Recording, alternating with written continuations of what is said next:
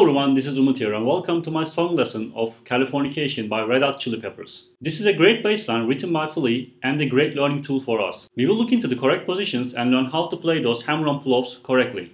First note we will play is the 7th fret of D string. Play that with your index finger. We will play that twice.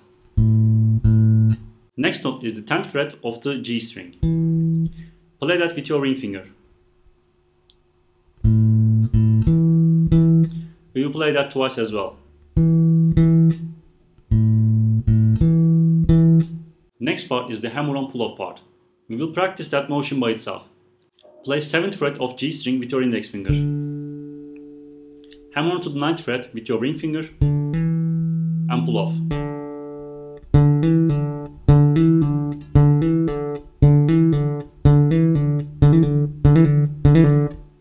Note we will play after the hammer-on part is the 10th fret of D string.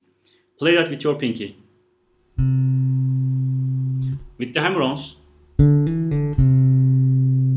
practice that by itself as well.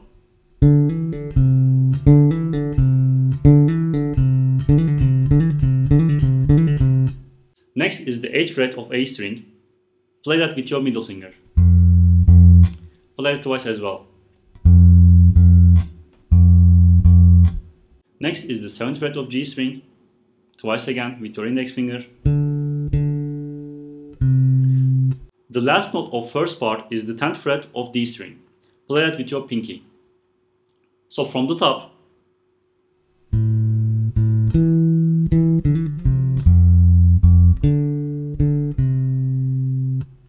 after the hammer-on part,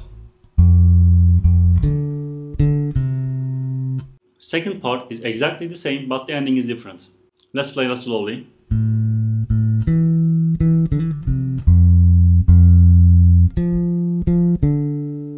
We will play the 10th fret of G string with our pinky and play the 7th fret of G string with our index finger.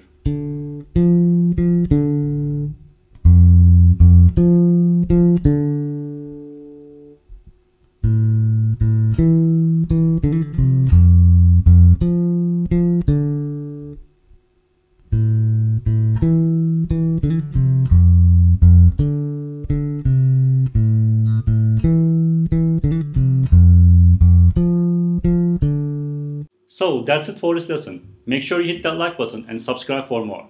If you want the backing tracks and tabs, you can visit our Patreon page as well. See you on the next one.